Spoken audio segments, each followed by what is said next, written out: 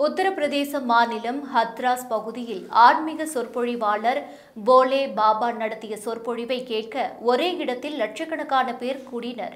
இதனால் ஏற்பட்ட கூட்ட நெரிசலில் சிக்கி நூற்றி இருபதற்கும் மேற்பட்டோர் மூச்சு திணறி உயிரிழந்தனர்.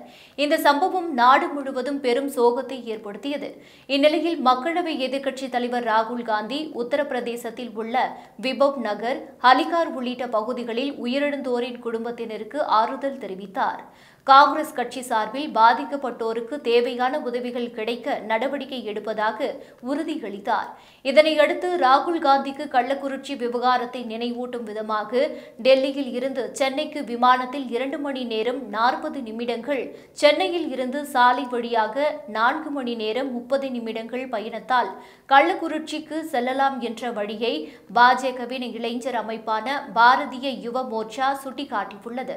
கள்ளக்குறிச்சியில் கள்ளச்சாராயம் குடித்து உயிரிழந்த அறுபத்தொன்பது பேரின் குடும்பத்தை பார்க்க மறுப்பதன் மூலம் தனது சகோதரரும் தமிழக முதல்வருமான ஸ்டாலினை காப்பாற்றுகிறாரா எனவும் பாரதிய யுவ மோர்ச்சா கேள்வி எழுப்பியுள்ளது.